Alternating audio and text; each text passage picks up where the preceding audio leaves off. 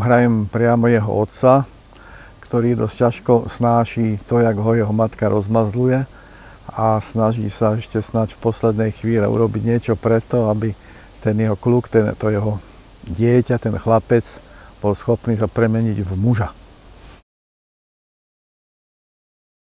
No, povedal by som toľko, že je to múdry chlap, ktorý bol chvíľu, chvíľu pod vplyvom svojej manželky, manželky extrémne milujúcej svojho syna.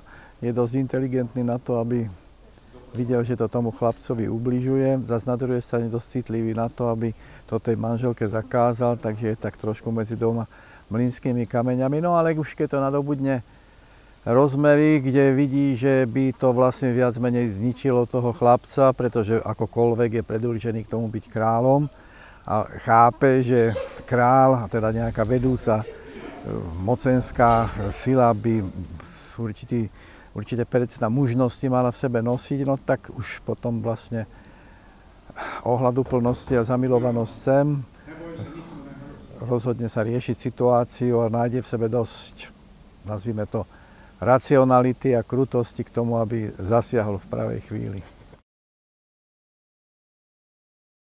No hovorím, je to rozmazlený chlapec a keďže vieme, že chlapec sa zmení v muža iba vtedy, keď musí, No tak e, on zatiaľ nemusel, tak zostal tým maminkým mamánkem a, a, a hrozí, že tá jeho povahová vlastnosť, tá jeho povahová výbava okolie, ktorú im by eventuálne vládol, že by to zničila. Takže chlapec je nebezpečný v tom, že je rozmazlený. Čo si myslím, že je dosť veľké nebezpečenstvo aj dnešných mladých ľudí, ktorí sa majú príliš dobre a ktorí sa nemusia stať dospelými, pretože rodičia to za nich všetko vybavia.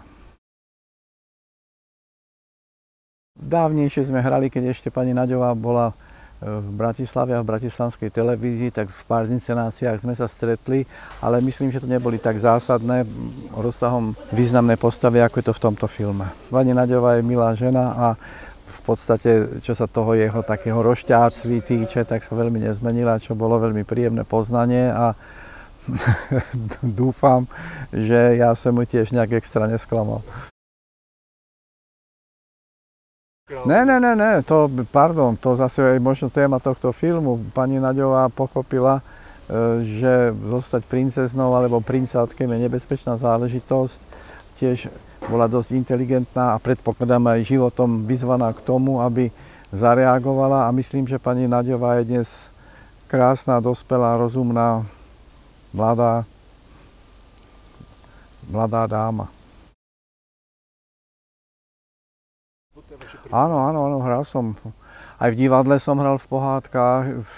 Priznám sa, že nie je to celkom, by som povedal, najobľúbenejší žáner, v ktorom sa ocitám, ale na druhej strane si uvedomujem obrovský význam tohádek. Je to vlastne pozvání do tance nových generácií a vlastne cez tú pohádku chcem dúfať, že, že nájdú tí mladý vzťah k divadlu a prípadne k literatúre, k filmu.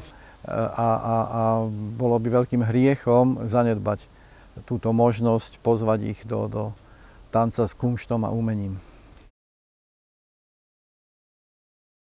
Hrál, hrál ale hral som väčšinou, väčšinou takých tých nevydarených kráľov a sultánov a ja už neviem čo, ale boli to obyčajne vždy také negatívne postavy.